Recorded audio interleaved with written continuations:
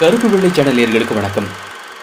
ஒரு படம் ஒரு மொழியில் வெற்றி பெற்றால் அதை மற்ற மொழிகளில் ரீமேக் பண்ணுறது வழக்கம். அப்படி ரீமேக் பண்ணி தோல்வி அடைந்த படங்களும் உண்டு. ஆனால் ஒரு தோல்வி படத்தை ரீமேக் பண்ணி வெற்றி படமாக்க முடியுமா? ஒரு முறை ஏவிஎம் சரவணன் அவர்கள் மும்பை சென்றபோது அன்றைய ஹிந்தி படம் முன்னணி நடிகர் கிஷோர் குமாரும் ஒரு சிறு பையனும் நடித்திருந்த ஒரு படத்தோட போஸ்டரை பார்த்தாரு. காரை ஓட்டிக்கிட்டு இருந்த டிரைவர் கிட்ட இது என்ன படம்? பெரிய ஹிட்டா அப்படின்னு கேட்டாரு. கிஷோர் குமாருக்காக அந்த படத்தை ஏற்கனவே பார்த்து நொந்து போயிருந்த டிரைவர் வாய் பேச முடியாத ஒரு சிறுவனை பத்தின கதை கடைசி வரைக்கும் அழுவாச்சி காவியம் அப்படின்னு அழுத்துக்கிட்டாரு. அதுதான் கிஷோர் குமார் தயாரித்து இசையமைத்து நடித்து இயக்கிய தூர் ககன் கி ஷாவோன் மேன் அப்படிங்கிற ஹிந்தி படம். அந்த படத்தை பற்றி கேட்க அந்த படம் சரியாக ஓடலைன்னு சொன்னாங்க. ஆனாலும் சரவணன் அவர்களுக்கு அந்த படத்தை பார்க்கணும்னு தோணுச்சு. ஆனால் படத்தோட ரீமேக் உரிமை வீனஸ் பிக்சர்ஸில் இருக்கிறத கேள்விப்பட்டு அவங்க கிட்ட பேசினார் சரவணன். கிஷோர் குமார் நடித்த அந்த படத்தை விநியோகஸ்தர்கள்ட்ட போட்டு காட்டினோம். எம்ஜிஆரே நடித்தாலும் அந்த படம் ஓடாதுன்னு சொல்லிட்டாங்க. இதுக்கு பிறகும் நீங்கள் ரிஸ்க் எடுக்க போகிறீங்களா அப்படின்னு கேட்டாங்க.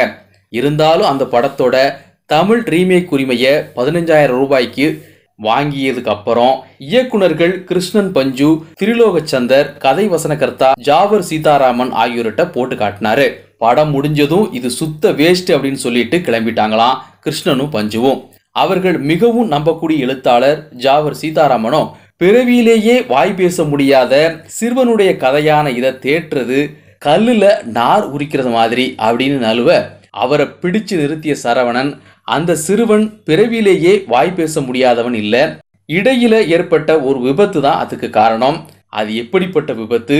அந்த விபத்து யாருக்கு நடந்தது அப்படின்னு திரைக்கதையில அவனுக்கு நடந்த விபத்தை பிளாஷ்பேக்கா மாற்றி எழுதி பாருங்க அப்படின்னு சொல்ல. எனக்கு இப்படி ஒரு ஐடியா தோன்றாமல் போயிடுச்சு அப்படின்னு வியந்து ஒரு தோல்வி படத்தோட கதையை ஆதாரமா வச்சு அதோட தலையெழுத்த ஐந்தே நாட்களில் மாற்றி புதிய திரைக்கதையை எழுதி முடித்தாரு சீதாராமன்.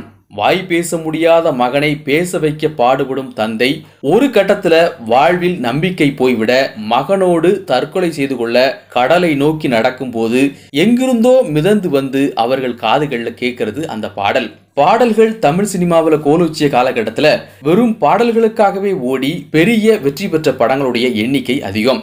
அதே மாதிரி உயர்ந்த கருத்தை சொல்றதுலையும் மக்களுக்கு புத்துணர்ச்சியையும் தன்னம்பிக்கையையும் அளிச்சிருக்கு. நம்பினார் கெடுவதில்லை.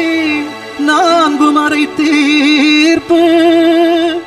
நல்லவர்க்கும் ஏழையர்க்கும் ஆண்டவனே காப்பு. பசிக்கு விருந்தாவான் நோய்க்கு மருந்தாவான். பரந்தாமன் சன்னதிக்கு வாராய் நெஞ்சே. பசிக்கு தேவை உணவு தான் அப்படி இருக்க பசிக்கு உணவாவான் அப்படின்னு சொன்னாலே போதுமே. விருந்தாவான் அப்படின்னு ஏன் சொல்லணும்? காரணம் இருக்கு.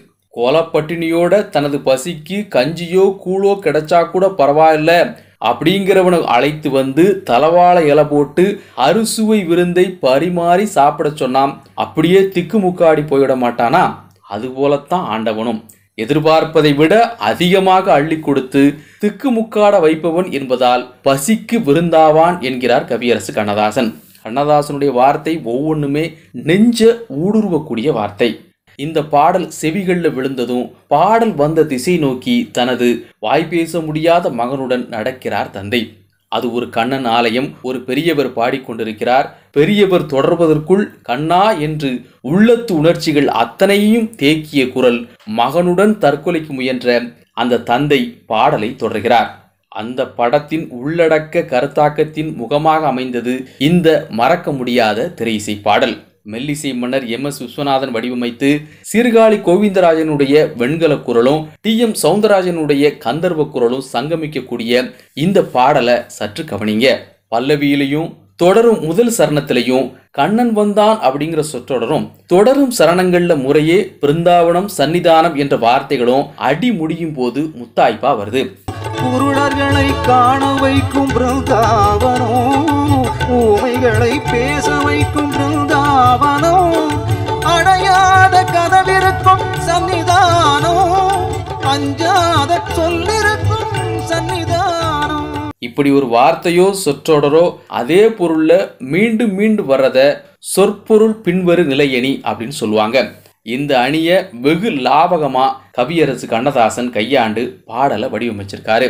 பாடல் காட்சி படமாக்கப்பட்ட அன்று பாடலை கேட்டவுடன் காட்சியில் நடிக்க கதாநாயகன் ஜெமினி கணேசன் சற்று தயங்கினாரு.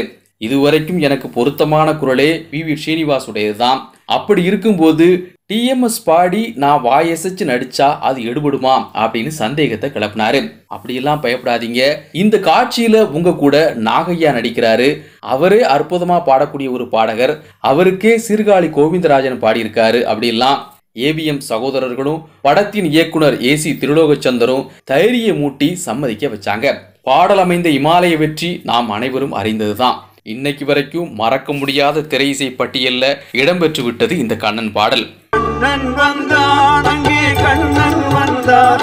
ஏழை கண்ணீரை கண்டதும் கண்ணன் படு தோல்வியடைந்த ஒரு ஹிந்தி படத்தின் கதையை ஆதாரமாக கொண்டு எடுக்கப்பட்ட ராமு ஆயிரத்தி தொள்ளாயிரத்தி அறுபத்தி ஆறு ஜூன் வெளியாகி பல திரையரங்குகளில் நூறு நாட்கள் ஓடிச்சு.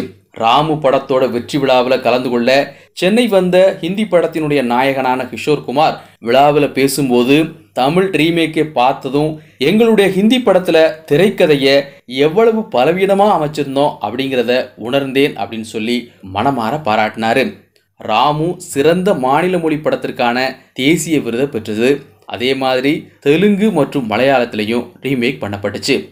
மீண்டும் சந்திக்கலாம். வணக்கம்.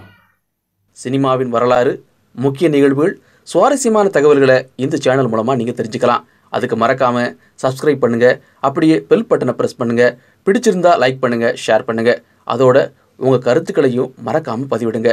நன்றி.